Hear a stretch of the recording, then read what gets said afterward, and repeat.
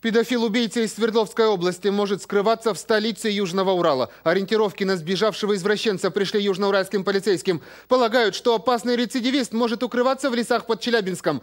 55-летний Владимир Сумин был успешным бизнесменом, но попал под следствие по подозрению в интимных связях с двумя школьницами. И в тот момент, когда находился на подписке о невыезде, решил отомстить своим жертвам. Он хладнокровно расстрелял главную свидетельницу по этому делу, а затем, не застав дома одну из совращенных девочек, застрелил ее мать. После этого Владимир Сумин скрылся в лесу. До настоящего времени его местонахождение неизвестно.